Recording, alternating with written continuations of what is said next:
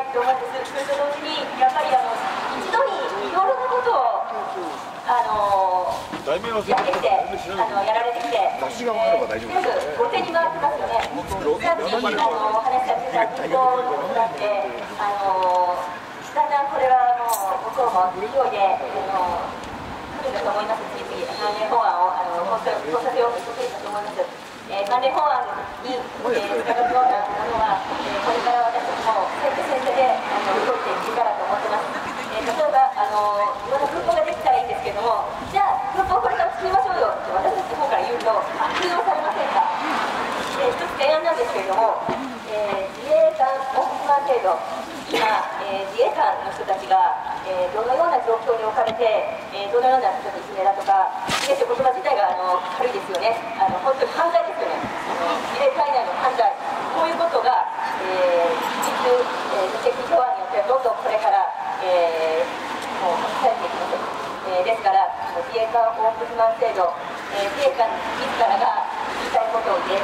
意見ができ、そういう環境を軍法の同時にあのどうかあの作ってくださいというような活動をやっていきたいと思います。ぜひお願いします。あとまたあのよく私たちが色巻きするんじゃないかなと思う点がありまして、えー、それはどこの国にも、えー、手書きデータがあるじゃないか、えー、そこでちょっとあの説明させていただきたいのが。あのどこの国にも手書きデータがあるように国連憲章に書かれています。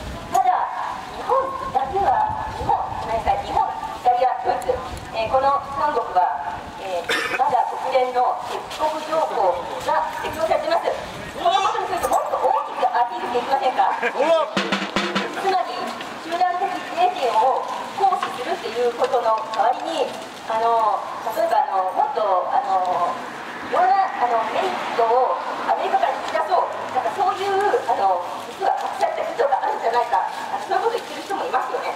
だけども隠されたその何か目的ってきて例えばそれが TPP とかを飲まないとかそういうあの何か強いあの交渉力を、えー、今回のユダ的自衛権あの保持可能ということによって引き出す引き出せるそういう担保がありますかないでしょう全くない。誰も見えてない。私たちには知らされてない。たとえそうい。う、えー、裏交渉で何か日本に有利な話があるだとしても、えー、そのそのことが私たちに見えてません例えばもしそれがあるにしても自衛権あの集団自衛権を行使するその見返りに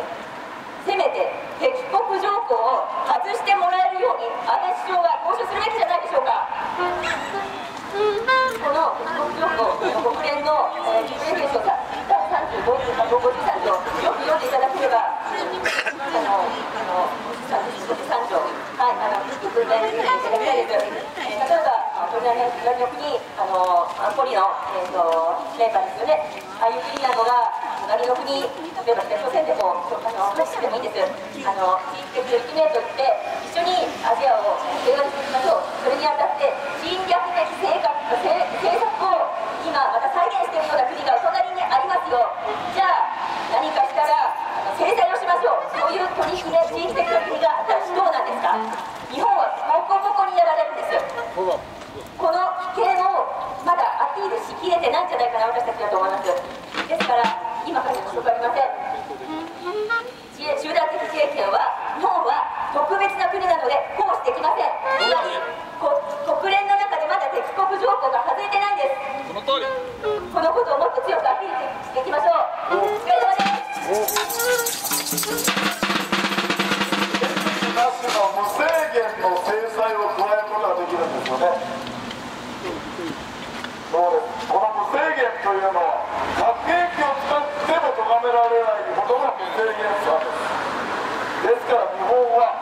集団的自衛権の行使は不利です。